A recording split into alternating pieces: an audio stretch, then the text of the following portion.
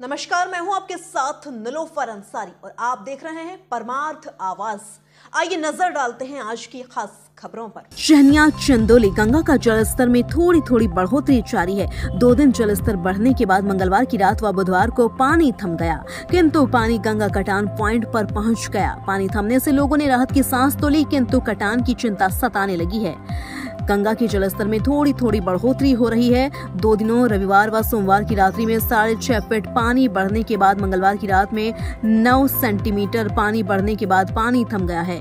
किंतु जलस्तर कटान पॉइंट तक पहुँच गया। जलस्तर थमने के बाद तटवर्ती गाँव के ग्रामीणों ने बाढ़ से राहत की सांस तो ली, किंतु कटान की चिंता अभी भी सता रही है। गंगा तट के किनारे बसे गाँव कांवर महुआरिया बिसुपुर, महुआरी खास सराय बलुआ, हरधनजुड़ा बिज़ी के पूरा, गणेशपुरा, टांडकला, बड़गावा, तीरगावा, हसनपुर, नदी, निधौरा आदि गाँव के किसानों व ग्रामीणों की सैकड़ों एकड़ उपजाऊ भूमि गंगा के फेटे में समाहित हो गई है।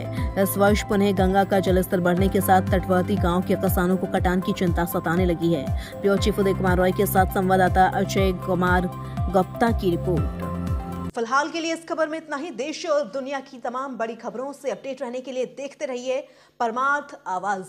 और हाँ हमारे वीडियोस को लाइक व शेयर करना, साथ ही चैनल को सब्सक्राइब करना ना भूलें। नमस्कार।